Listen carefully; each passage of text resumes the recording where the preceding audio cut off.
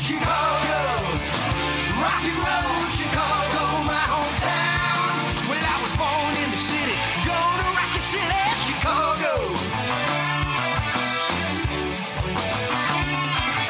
Chicago rock and rollers are the best around around. You don't believe me? Hey, this is Paul Martin And Ray the Roadie. for the Rock and Roll Chicago podcast. How's uh, how you been, Ray? I'm doing well. I'm nice and tan. I'm very excited about what's coming up. It's just I, I just can't believe how excited I am. Well, well, calm down, boy. calm It's, down. it's, Once upon a time there was an engineer. Choo Choo Charlie was his name we hear. He had an engine and he sure had fun. He couldn't Oh, really? We're, we're we're interviewing the guy who wrote. Good yeah, you said it's like I mean we did the Pez band band with the candies and stuff, and you said we're gonna be doing Choo Choo Charlie, right? no, no, no. I was no. You must have misunderstood. Oh, We're interviewing Sean and Charlie. oh, oh. Boy, I feel stupid. I thought for a minute there we were interviewing the guy who wrote the Choo Choo Charlie theme song. Oh, I thought we were interviewing Choo Choo Charlie, man. That, he was one of my faves when I was a kid. That good, good and plenty candy was awesome. Uh, it was disgusting. I thought. Did you? Well, to some, it's an acquired taste, I guess so. like Scotch. Oh yeah. Mm. yeah. I can't drink that either. Not like tequila. No. You know what? I think to some people, tequila's an acquired taste too, though. Yeah, I like Jameson too. I like Jameson, and I think Sean and Charlie like Jameson. I'm I'm pretty sure that they do. Yeah. Uh, as a matter of fact, we talked about it.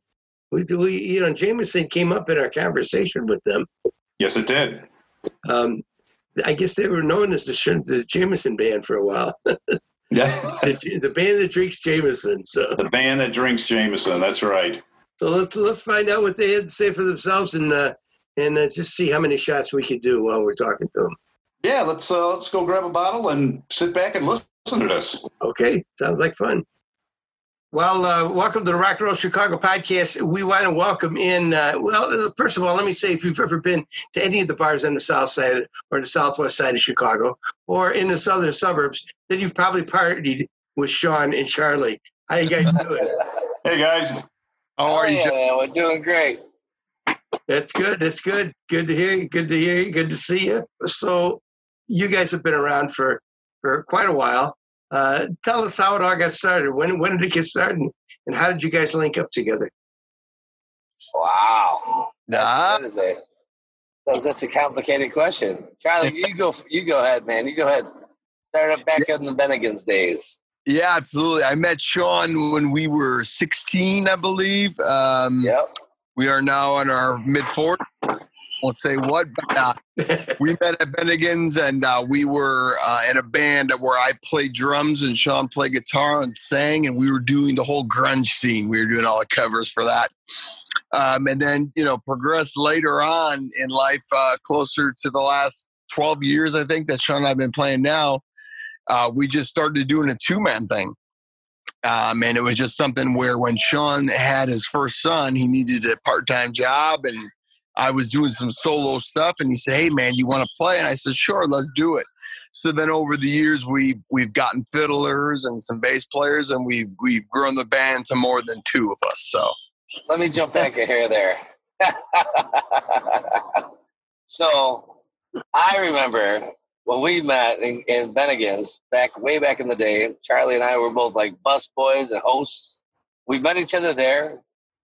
After about three months or so, I had a band that just started in high school. That was just we were just getting out of high school or just in our senior year, and uh, we started at Moraine, uh, Moraine Valley Community College. And I was walking through uh, the courtyard one day, and our I had a word from our bass player, guitar player at the time, that our drummer wasn't going to make it.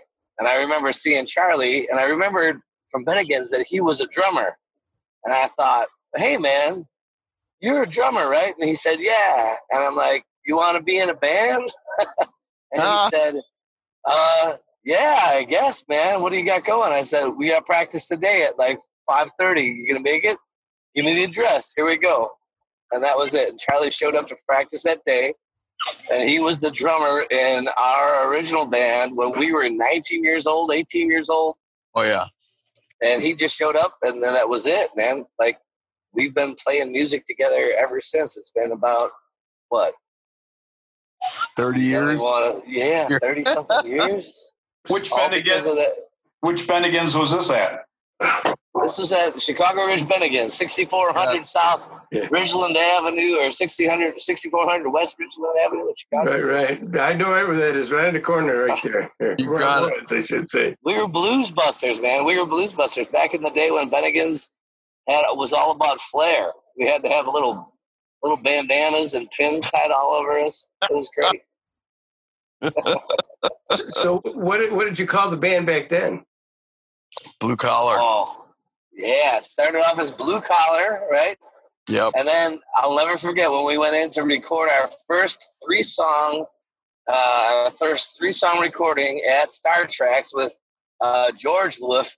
We went in there, recorded, and we found out halfway through the recording session that there was another band in the area called Blue Collar, and they were like a Styx uh, tribute band.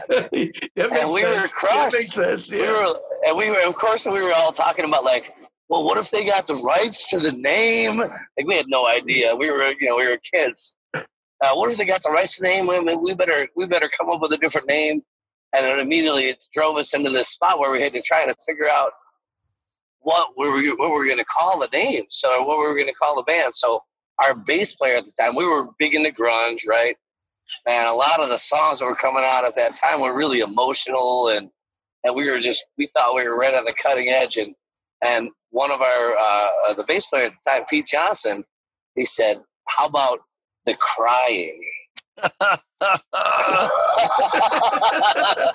No, so, that, that sounds like it would be a shame. so for about oh i don't know four months we were known as the crying and then when we got so much shit for being the crying after so long uh, i think charlie out of nowhere decided we should be called Wishbone Taylor. Wishbone, Wishbone Taylor and the Freak Out Seven. Oh, Now shit. there were only there were only four of us, but we figured, hey, that's a way more uplifting uh, uplifting, catchy name than the Crying. there you So go. spent the the end of that band was the Wishbone Wishbone Taylor and the Freak Out Seven. I love it. I love it. So where you where you, you guys were playing parties and uh, in some clubs or whatever?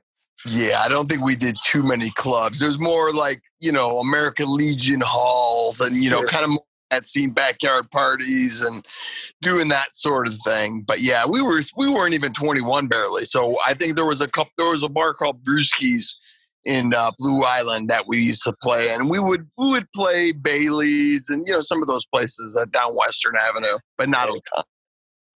Yeah, we had a guy named we had a guy named Kevin Davis who uh, was into or uh, you know had relations for many many years with our bass player Pete Johnson's daughter uh, sister, Sister, yeah. and he, out of the kindness of his heart, allowed us to rehearse in his basement. He had a he had a house in Mount Greenwood with another one of his buddies, two more of his buddies, Marty and uh, Vinny. They would uh, they he totally like basically gave us free run of the house, and we would practice all day while they were working. And as a result, Nice. when when it came down to when it came down to like they would have parties, they were like, uh, "Yeah, we're gonna have a party, and uh, uh, you guys, Wishbone Taylor and the Freak Out Seven or BMC or whoever we were at the time, you guys are gonna perform at the party." So we had a lot of parties that were kind of, you know, these guys were about oh I don't know eight or nine years older than us, but they had taken us in and allowed us to do such awesome things uh, where we didn't have the resources to go practice anywhere like anytime we wanted. So we ended up playing all these parties for these folks that were a little bit older than us, but uh, we were like their, uh, you know, we were like their little brothers that had a band. It was really cool. So it was like payback for the uh, for the use of the house and uh, use of the practice space, right? Exactly, exactly. I mean, and a priceless commodity at that time. So you, you've evolved from then, right? And um, and and so let me ask you this: How are you guys surviving? Uh, uh, surviving right now with COVID nineteen thing going on, and uh, and I'm sure you didn't play much in March or April or May. You know, Yeah, I mean it's it's it's really interesting because the amount of times that Sean and I play have condensed to not much, but at the same token, those shows that we have played have been so much more magical and so much more fun because we don't really have that outlet that we normally were having probably every Friday, every Friday and Saturday for every week. You know, that's what we were doing. Now it's kind of like maybe twice a month, maybe if we're lucky. But um, we had some great, amazing people that play with us. You know, that's what Sean and I, I always say, I'm like, the, the, the only way to be successful is to play with people that are better than you. And the people that play with Sean and I are way better than both of us. I mean, I don't deserve to be on standing with, you know, the fiddlers and the bass players and the people that we have playing with us. And it's just like, hey, you know the more that that we get this and and what's happening right now is a lot of these people aren't playing as much as well so we're getting more opportunities to play with more people because they're just looking for work. So it, it it's a blessing and a curse because it's like well it's terrible that you, you're not making that money but now we're getting opportunities to play with a lot of really cool people because they're just looking for you know hey we'll give you 150 bucks or whatever the case is. Sure. hey sure and they come out and play. So it's cool.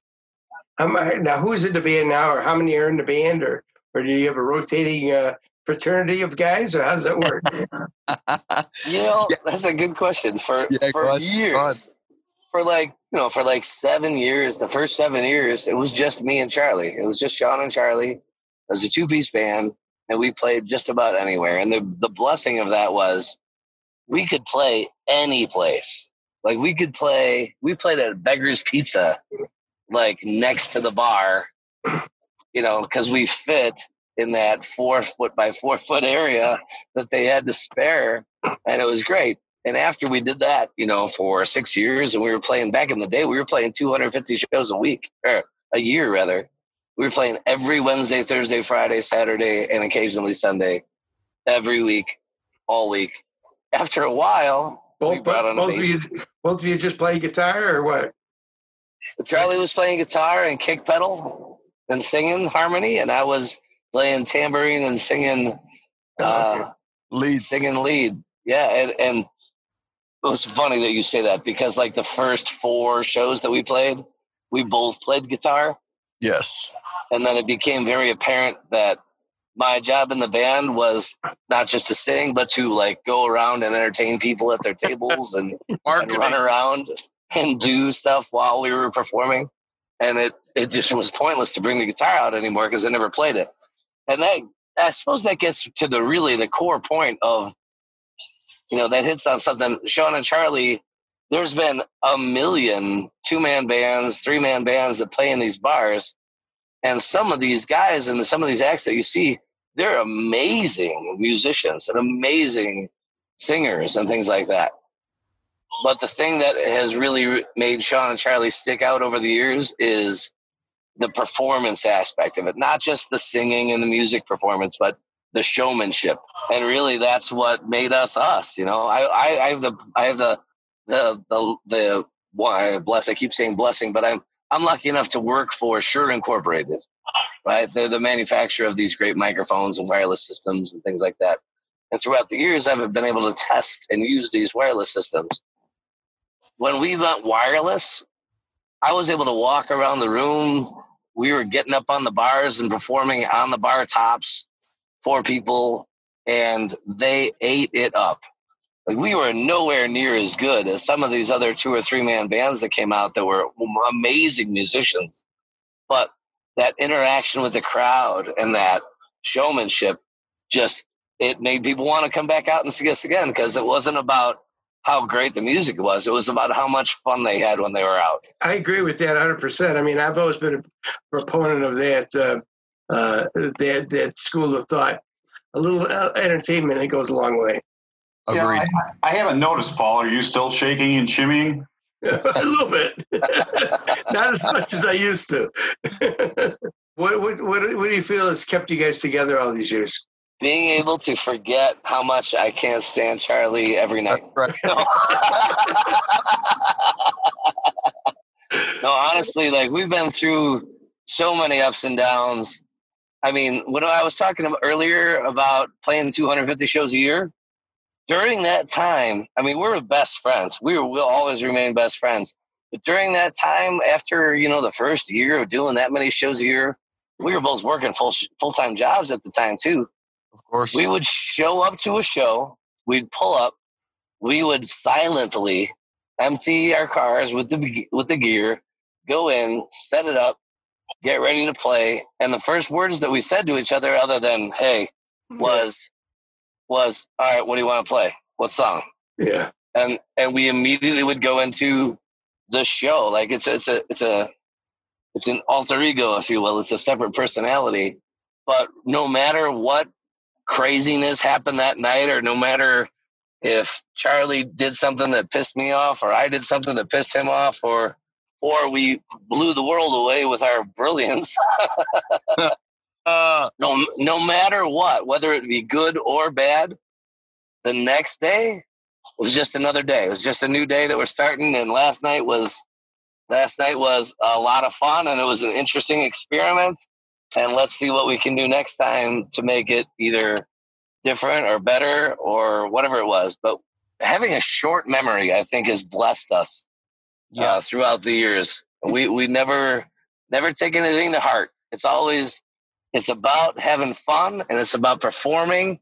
And if you if you get too tied up into egos, it's just going to eat you up and kill you. So you got to have a short memory. Yeah, and I was going to add, Sean. I mean, the ego thing to me, and I think anybody that's that has played music with other other cats knows that egos is what kills bands. I mean, that's what kills relationships, but especially with bands, and that's something that Sean has never had. And I don't have, uh, and I think that's something that works for us. You know, I'll never forget um, you know, people asking me like Sean had some stuff going on. I forget what it was in his personal life, and I remember someone asking me like, "Hey, what's going on?" And I go, "I have no idea." And they're like, "What do you mean you don't know? Didn't you just work with him?" I'm like, "Yeah, but we don't talk." So I think because we really don't, and that, it, Sean already referenced it. But yeah, I mean, we we're all about the music when it's about the music, and and if I'm hanging out with Sean, then we'll talk. And then, and if Sean needs me, he knows I, I'm I'm there for him all the time. He can call me whatever he needs to. But if he don't call me, then we just go about about our business. So yeah, yeah. I I, I, I see that, and and guys in general, I think are, are sort of like that. Um, Yeah. Uh, you know, we're trying not to be uh, too much where too much where we, we bicker and, and stuff. And if we do, you know, we go out in the street, we pump, we punch each other out, and then we go back inside and have a beer, right? exactly. That's right. Or a Jameson. There you go. So getting getting back to the band aspect, uh, like Paul said, uh, do you have a set group of guys now? Or are you uh, rotating people in and out? Yeah, I think right now we're we're we would love to have a set group of people, but you know, we referenced it earlier that there's so many musicians. So we have this gentleman by the name of Phil Roach, and he's a fiddle player in Chicago. And people that know fiddle players, they have said to us, he's the best fiddler in Chicago. And it's like, well, it, he's not playing with us because Sean and I are awesome. He's just playing with us because it's a lot of fun. But he plays with uh, Dave Matthews cover band, um, and that's where we actually took it from. Uh, we do an event called the Witch Fest, and we do that every year, and that's where they were playing with us on that that bill. Uh, but then the same thing, we have Garrett with uh, Ron Burgundy's playing bass. I mean, so we just and then we also have uh, who's with us uh, this Sunday sh- or this Saturday, Sean? That- Aton, Aton, and Dave Gans. and Dave Gans. Dave Gans, which was from the Flapjacks. I mean, he's a phenomenal player. And Aton, who's a wonderful prodigy on the on the keyboard. I mean, he's with us. And then we actually have Hannah playing fiddle with Yeah, us. Hannah Watson. Yeah, we just had so many people that just we continue to cycle through. So if we're able to keep people, we would, but it just it doesn't seem to go that way because everybody that plays with us plays with several different acts. So They're, we just they're, they're, they're a jobbing musician, right? So they, you got right. Yeah. And what's great about that is is so many of these acts that have these great musicians in them, like the Trippin' Billies and these other these other excellent bands, they're very structured, right? So they know exactly what they're going to go play. They're going to play note for note everything that's you know maybe not note for note, but close to it. They've got a, a particular thing that they need to be part of, and it's held together by some management system or or something. And they really appreciate when they come out with Sean and Charlie because you never know what the hell's going to happen at one of our shows, right? And they're, I mean, we have we have Phil come out to play with us, and we might play Four Non Blondes, and we might play ACDC, we might play Frank Sinatra. You never know what we're going to play, and he is going to do a killer job no matter what it is. And he, I think he they they just love this freedom that comes from playing in a band that you never know what might happen, and uh, the stakes are fairly low, right? We're not going to hold him. He's great. We're not going to hold anything against them. So I think uh, I think there's a certain amount of freedom with playing in Sean and Charlie that comes with the fact that we're out there to please the crowd, and whatever they might want on any given night is what we're going to try to give them. And they love that feeling. So it's it's been great for us to be able to play with some of these great musicians that otherwise would be playing with some top acts throughout the area, but it's more structured on that side, and, and it's it's uh it's, it's, It's it's a little looser, a little freer.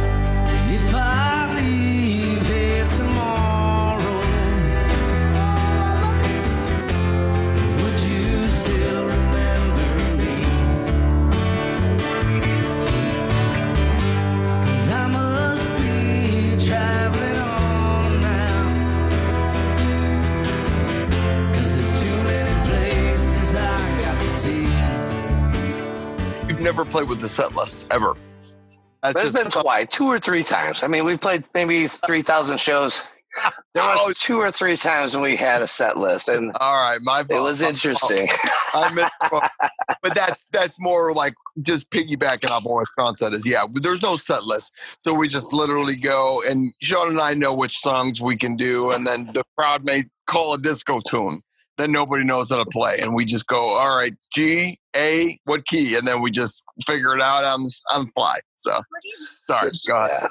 So, so you, you you mentioned some of the songs you might do, and it's quite a variety of stuff. But what would you consider your genre of music, or or or what are some of the songs that that, that you guys do that you, that you enjoy doing, or, or that have a great response? Uh, you Yeah. you pick you pick two, Charlie, and then I'll pick two after you. Okay, I was going to say Sean references. I heard him talking to somebody at our last gig that people refer to us as an Irish band. Sean and I are not an Irish band. However, Sean's family is from Ireland. So, I mean, the amount of songs that Sean knows that, you know, for Irish type stuff, we could play Irish all night long. So it, we will- we will play on Western Avenue and St. Patty's Day parades, and you know we will do all that kind of stuff. But we're not really typically an Irish band. But I would say we do a lot of Irish music. In that bog there was a tree, a rare tree, a rattling tree. Well, the tree in the bog, in the bog down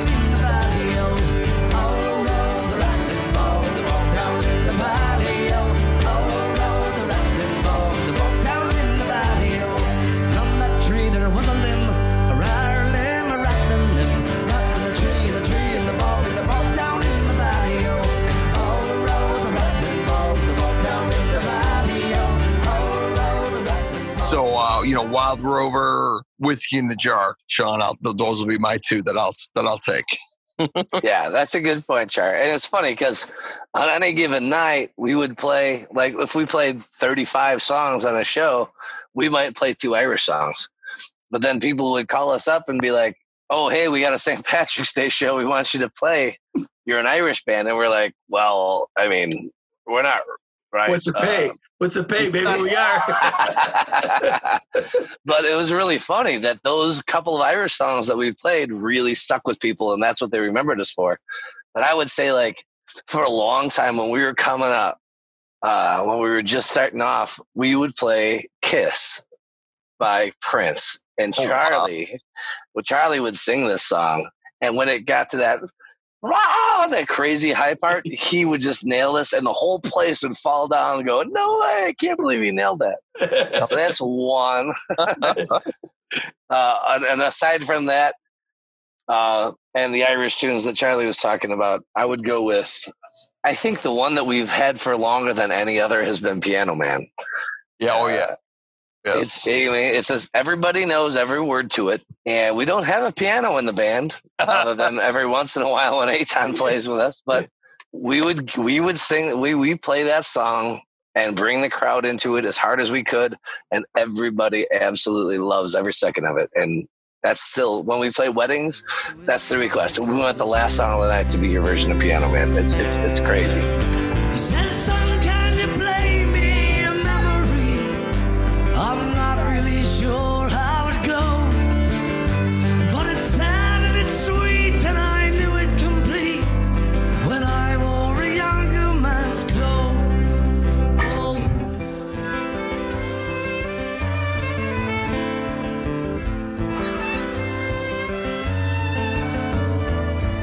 What were the uh, three songs that you guys recorded at Star Treks, and uh, do you still play them? so there were several of our bands that recorded at Star Treks. The first band that uh, George recorded was called Blue Collar at the time, and that was Away, Plaid, and Uniform, which Very good. oddly enough, those were the three names of the songs. And after recording them, realizing that there was a way plaid uniform, we decided, or I decided as a joke to tell my people that, that were listening to the songs that it was a, a tribute to graduating from Catholic grammar school for a girl that was like, a way plaid uniform. um, it was very that was very grunge like those three fo- those three songs. I still have them. It was recorded on 16 uh, 16 track 2 inch and we were we got we got tapes we got cassette tapes of them Yes, we did. We got that too. and DAT. Well, we got DAT masters, right? But we never got DAT multi. We never got like ADAT mul- oh, ADAT multi track or anything. So I every once in a while will have somebody send me a recording that they were given 30 years ago or 25 years ago or whatever it was of this and it was it's them having taken their single cassette tape that they were given and recorded it and, and transferred it to some digital format where they then email me an mp3 of, an, of a cassette tape of those songs. They will forever be some of my favorite songs in the world. Um, but man So after were- all that money we spent So they were original songs, right? all original yeah yeah yeah yeah. And then my band after so after Blue Collar or after Blue Collar kind of split ways. Charlie went off and recorded some music with another band and himself. He did Charlie Lions by himself and did an album with that, and did another album with a band called Gray Flower. I went off and did a, uh, an album with a band called BMC, and that we also did at Star Treks uh, with Jeff, uh, Jeff Lewis, uh, who I think you probably know. Yeah, I know Jeff. Ah, and uh, that album was that we were in that perfect age where we were traveling around to college town to college town to college town and playing a lot in the city. Um, but as an original band, I mean, you guys know. I mean, you guys are coming up in a great age, but by the time we were coming up as an original band, it's really hard to a find the places that want to hire you for for performing for the night and you're not going to make any money doing it you might you might get a hundred dollars two hundred dollars a night um, as a regular uh, original band playing at these places so um, jeff's recording of bmc probably sold the most albums of of my world before we went to a cover band with charlie how about you charlie yeah, I mean, I, I was with, uh, I did my solo album with George, and then Great Flower. That when I was playing drums in that band, they actually we recorded with George as well. So yeah, I mean, we we've gone to Star Treks what four or five times to record. And uh, we were big fans of George. I never recorded with Jeff, but I know he was usually the studio B or the other studio. But yeah, George was always always helpful to help you know to kind of help us with oh that's not the right key and yeah. the first time, the first experience I remember with that, exactly what you're talking about, is during Away, which was one of the first songs that we ever recorded there. Yep. George, I was in the vocal booth singing, and he's like, "All right, now hit the harmony," and I hit the harmony, and then he goes, "Uh, hit it again." Uh, hit it. He might have. He might have made me sing this like 15, 16 times, and the whole time I'm thinking he's going, "No, that was wrong. Try it again." But the whole time he was just Malting. ping pong and multi-tracking and ping ponging these together. So when Yep. it came out, it sounded like a hundred people singing this Yeah. part. I'll never forget it. He Yeah, tricked it's me into it, but it was a brilliant move. Yeah, Yeah, George, George, George, and Jeff are both pretty good uh, engineers, and uh, and Jeff, Oh, yeah. Jeff even to this day has a great ear, and and, and he's a master at uh, Pro Tools. Which is an art in itself. Yeah. So so so now, um, what what about what about original music now? Are you guys doing the original music? Have you written it? You written anything? Still writing, but not performing. Yeah, I, I know for me, you know, Sean and I have gone back and forth a few times where I'll send him chords. And, you know, back in the day, I would write chords and then Sean would be able to improv lyrics and sing stuff. And I think right now, for me at least, I'm like, I'm too old and I feel so old. You know, I'm like to really talk about it. so I'm more like, hey, let's do Johnny Cash or let's, you know, I'd rather spend my time learning you know, let's let's do Hotel California or something like that. I, so yeah, I don't really write anymore. On my on my side, I still write. I still write, but I don't perform them at all. Like I've I've got songs and songs and songs that I write, but they're not the kind of songs that Sean and Charlie would perform. They're uh, they're more heartfelt. It's more like poetry set to music with a cool melody to it. It's it's uh as much as I absolutely love doing it, and it's a great outlet for me, like psychologically, uh, to have that. But it's definitely not stuff that people want to go out on a Saturday night at some local bar and listen to. Let's take a time out here for a second. Road to Rock Radio is proud to welcome Paul Martin of M&R Rush and the Dancing Noodles and Ray the Roadie, the Rock and Roll Chicago podcast. Join Paul and Ray as they bring you weekly interviews from bands that have rocked Chicago. It's the Rock and Roll Chicago podcast, Monday night at 6 on Road to Rock Radio.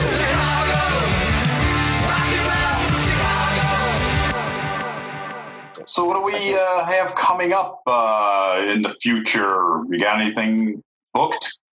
We do. We've got about we've got this weekend actually we're at a little place called J J J Shortstops. I think it's called in uh Worth. It's a little bar, uh roadside kind of joint with a lot of fun people in it. JP Uh, JP Shortstops, right? Isn't Yeah, JP? yeah, yeah. JP It's at Shortstop. There you go. Street. You got yeah, it. 111th Yeah. in Worth, yeah, or Chicago Ridge, one of the two, Worth, Chicago Ridge. Uh, really cool place, you know. So let's try to think of some of the places that we have shared. Like, I assume when right when BMC, when our first original band was starting off, one of the first shows that we got to play was for opening up for uh, Gorilla. It was a Jimmy Gorilla. It was a um, he was a guitar teacher for uh, players for a long time. Gorilla. Anyway, we Okay. played at Stingray. Do you remember Stingray? On 100 and, Cicero, right? 105th and Cicero. Yeah. It was right in the days, right in the days of uh of uh the Thirsty Whale, back way back in those days. Well, I don't remember You guys are- Stingray. I'm not saying I'm not saying we didn't play there, but but we You could. guys were, you guys were probably far uh above that at that time. That was we're talking about. How, well, how long ago was that, Charlie? We were what, 18, 19? Yeah, it had to be 20. That was like yeah. 25 years ago. And now, call me vain, call me hopeful, call me whatever. But I, I you know, as Sean and Charlie has been now for 15 years of, of playing throughout the, the Southwest side, particularly, but the South side of Chicago. I always hope that you know, if we ever decide to hang it up, we'll be remembered along with bands like the Dancing Noodles and Five Guys Named Mo and all these bands that were around for so many years, just doing such great things. Uh, we- we still have a long way to go, but man, that's, Uh, that's always in my head that those guys that will be that will be considered in the same chapter as some of those guys, some of those bands.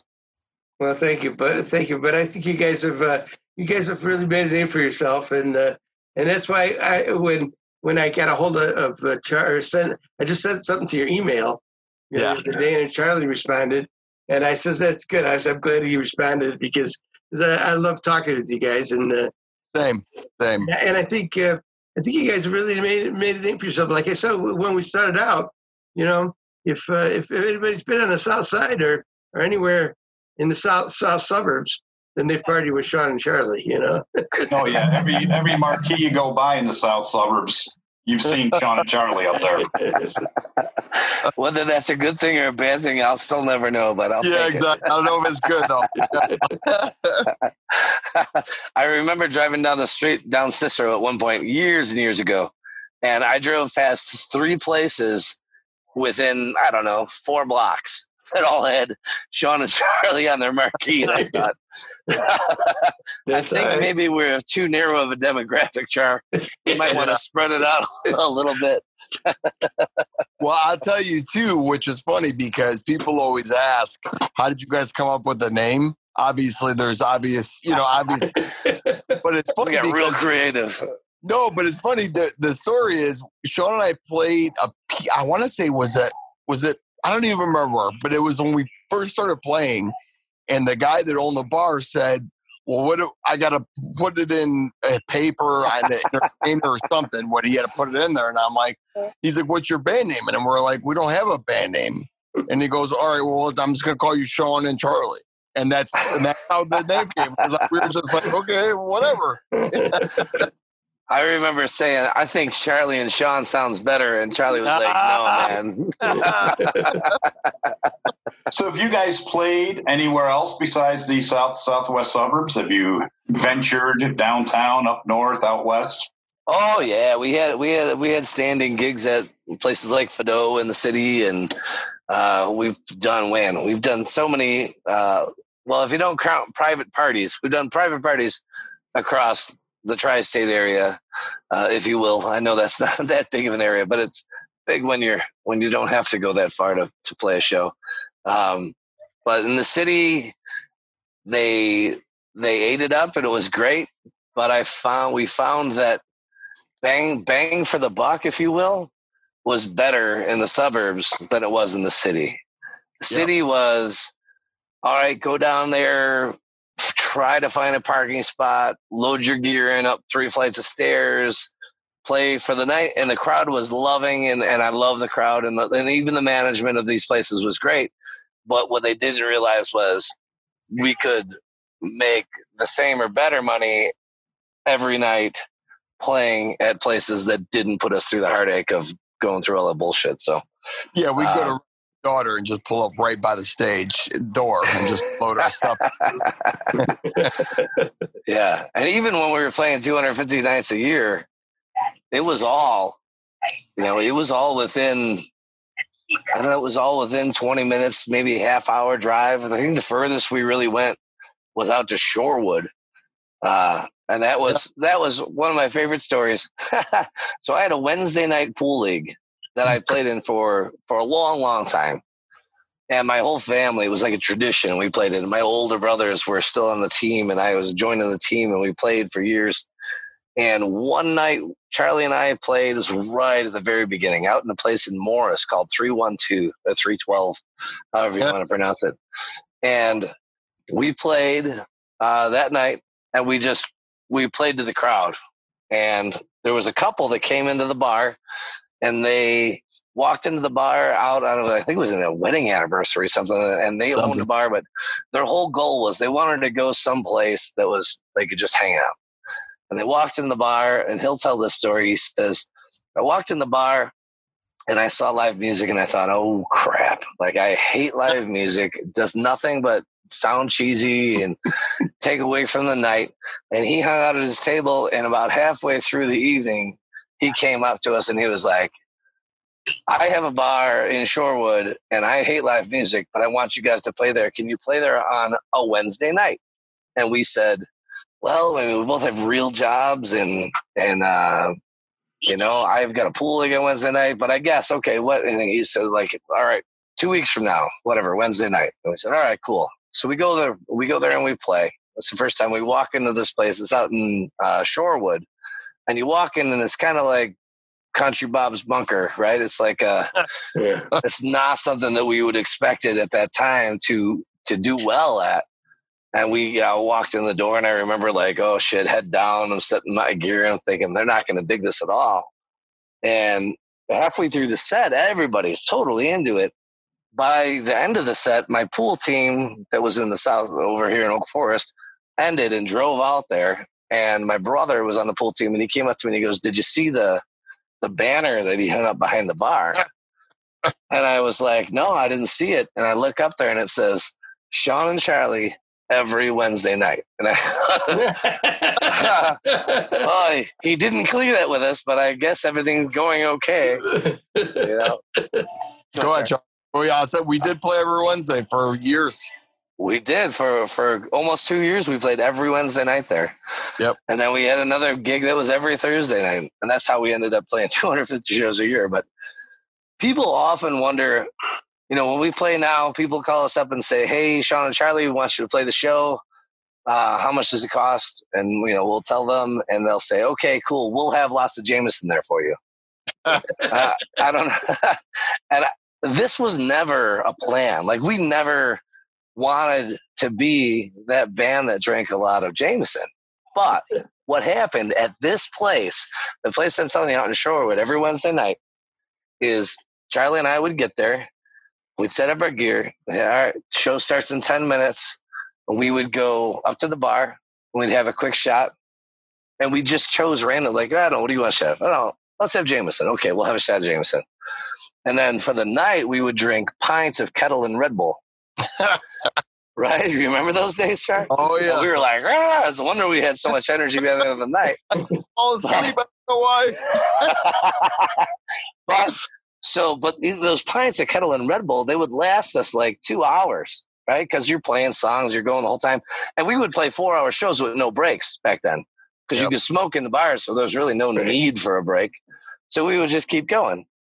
Anyway, people would come up and request a song, and one guy comes up and requests a song, and we play it for him. He goes up to the bar and says, "I want to buy the band a drink." And then she says, "Well, they drink these Ketel and Red Bull." but that drink they already have there is going to last them two hours. And he says, Oh, okay. Well, do, do they do shots? Well, yeah. Well, they had a shot of Jameson before the show. Get him a shot of Jameson. So then we played his request. He brings us a shot of Jameson. We do shot of Jameson. No big deal. 10 minutes later, guy walks up and requests a song. we play his song. Five minutes later, shot of Jameson comes up. Before you know it, so many shots of Jameson are coming up that people are like, wow, these guys drink a lot of Jameson. And for the first two years of our thing, Yep. people would come up and say, Sean and Charlie, I heard, I seen you guys. And they would never say, oh, you're really good or you're really entertaining or any of that. They would just be No. like, you guys drink a lot of Jameson. and it became this un- unrequested aspect of the band that really served us well over the years. Uh, that's funny. Yep. But people would also say that's iced tea in that, right? There's no way you're drinking that much. Well, you could have been like Dean Martin. He used to have apple juice in his uh, glasses. Good point. You're right. And I Yeah. portrayal that he had was that he was drunk, and it was like, nope, he never drank. Mhm. He was sober as a judge. He's the only guy that could get away with it. That's right. That's right. And for all my nieces and nephews coming up that saw shows, that's exactly what I told them I was doing. I was like, oh, no, no, that's not really whiskey. Don't ever try to do that. This is all fake. all. So, is that one of your favorite places to play at, or do you have some favorites that you really enjoy playing at? Yeah, Yeah, you know what, Charlie? You, you take this one. I'll join in afterwards. No, no, I'm fine. I'm just saying, but Riley's is one of my favorite, and I'll tell you the reason why Riley's is is one of my favorites. When Sean and I were probably 16, 17, 18, we used to have fake IDs, and we would go into this place, and I we would see bands like Mr. Blotto, which I love. Blotto. Sure. Yeah, I mean, you know what I mean. So we would go see these these type of bands, Hello Dave, and just like all these cool bands, like when we were younger. So now Sean and I have, have become something where we we load all these underage kids, you know, and, and what pack them are. Obviously, it's people's parents that that know Sean and Charlie, but now their kids are like coming over from college or whatever. But it's just cool to me, like it's a nostalgic thing to be like, man, we used to come um, like we have Dave Gans who's going to be playing with us this this Saturday, but he used to play with the Flapjacks with Mike Brown on drums. You know, what I mean, you know, Blotto, like all these different people. We used to go to time, so now it's cool to play there for me. I don't know, Sean, for you if you have a place, but that's that's mine, my favorite. I, you know, I have so many places throughout the years that have been favorites. There's so many shows, but you hit on a point there that was that was uh, something that's one of my favorite points to talk about when people ask us about that today. Because everybody always say, "Oh, what's your favorite place to play? What's your favorite song to play?" And this and that. My one of my moments that I now enjoy that I never enjoyed back in the day was when we're playing at a place called Lake Riley's, where you know it's Black Wednesday and there's a thousand people there, and they're just tripping over their own shoes. And these girls will come up to us, or these kids will come up to us, and they'll be like, "Oh my gosh, Sean, Charlie, it's so nice to see you. My parents love you." and all I can think is, I probably played shows before you were even born to your parents Exactly. hanging out these bars. And to piggyback off that, Sean, I, I'll never forget. I had this young girl at Riley's come up to me, maybe five years ago, and she said, "Do you guys play any Rod Stewart?" And we really don't, but I'm like, we can do Maggie May or whatever. So I said, sure, yeah, we'll do some, we'll do some Rod Stewart. She goes, I have no idea who that is. My mom wanted to hear it, and I'm, I'm like, you don't know who Rod Stewart is? I'm like, oh god, I'm Wait, till- wait, till you- wait till you get to the day when they tell you to your grandparents, their grandparents that, that saw you. Yeah. that's coming through. You know That's that's where I'm coming. at. That's where I'm at. Have you guys had that? Have you guys had that? Oh yeah. Oh yeah. Oh my God, that's awesome. God, that's such a goal. Yeah. My grandma used to come see you guys. Oh, great. Exactly. That's great. Thanks. You know that's coming soon, man. It's coming. soon. My grandma said she used to date one of the guys in the band. I go, "Oh, we don't want to hear about this now. so, so good back to the Irish music. You guys do some Irish music. You've got a song on your on your website Oh yeah, that you that uh, yeah, we do, Galway we do Girl? lots of Irish. Yeah, Galway girl. Yeah. Well, I took